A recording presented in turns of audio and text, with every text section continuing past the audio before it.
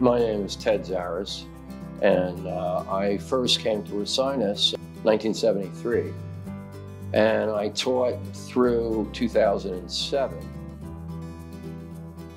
So the thing is, when you see a model for the first time, you don't know what you're going to do. You don't know, I mean, sometimes you might have a preconceived idea, but basically it's a journey of discovery. You have to meet the person, you have to find out what they're uh, about, what they like, their psychology a little bit. And in a few minutes, you'll know what's the apropos pose. It just, it'll just happen. A painting is not actually a photograph, even if you use photographs. The realism is a selective realism, okay? It's also, I don't want to say a lie, it's almost like making a film.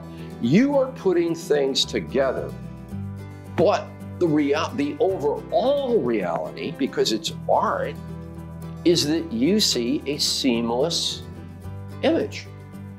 Artists have been doing that for so many hundreds of years that I can hardly count them.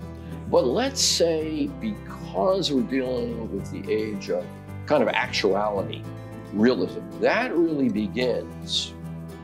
I think I can give you a starting date. I'm going to say 1426. That's when oil painting is perfected. So we're almost pushing 600 years now for that. But it's not only the paint itself, which is a huge issue because of what you can do with it. It's the procedure, okay? And so that's when in one dramatic stroke, you move away from the medieval symbolic presentation that had been done for many eons, like a thousand years almost, into where the painting is kind of the window on life. It's like a stage that you're walking into the scene and you're asking the viewer to project themselves into the scene. Just like when you go to the movies and you completely embrace the image projected on that screen.